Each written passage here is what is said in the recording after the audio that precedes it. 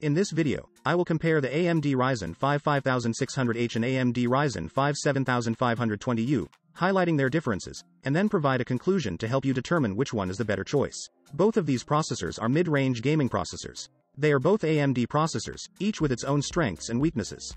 Let's examine them. The Ryzen 7520U was released 20 months after the launch of the Ryzen 5600H. The Ryzen 5 7520U features 4 performance cores and 8 performance threads, whereas the Ryzen 5 5600H has 6 performance cores and 12 performance threads. The greater number of cores and threads in the Ryzen 5600H enables it to efficiently handle multiple tasks simultaneously.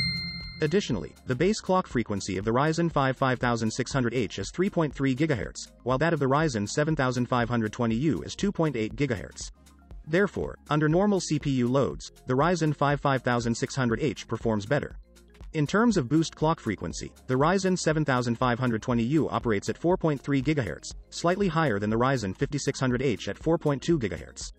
Despite the approximately 100 MHz advantage of the Ryzen 7520U, the Ryzen 5600H performs better under heavy CPU loads due to its greater number of cores.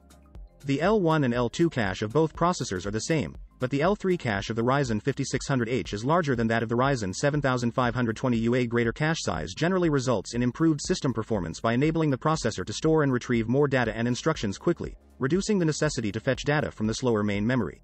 The memory size supported by the Ryzen 7520U is 16 GB, whereas that of the Ryzen 5600H is 32 GB. The Ryzen 5 7520U supports LPDDR5, while the Ryzen 5 5600H supports LPDDR4 and DDR4. Additionally, the speed supported for the memory module for the Ryzen 7520U is 5500 MHz, which is greater than that of the Ryzen 5600H. Both of these processors support integrated graphics, and the boost frequency of the integrated graphics for the Ryzen 5 7520U is slightly higher than that of the Ryzen 5 5600H. Consequently, the Ryzen 7520U may perform slightly better in graphical tasks. The Ryzen 7520U does not support ECC, while the Ryzen 5600H does. Therefore, for critical systems, the Ryzen 7520U is the better choice.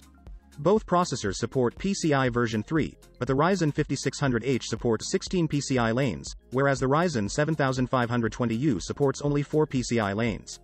Having more PCI lanes can be advantageous for expanding connectivity and accommodating high-performance components. The Ryzen 5600H has a higher temperature tolerance than the Ryzen 7520U. The Ryzen 5600H can withstand temperatures up to 105 degrees Celsius, whereas the Ryzen 7520U can handle temperatures up to 95 degrees Celsius. The Ryzen 5 7520U has a fixed TDP of 15 watts, while the Ryzen 5 5600H has a configurable TDP ranging from 35 to 54 watts.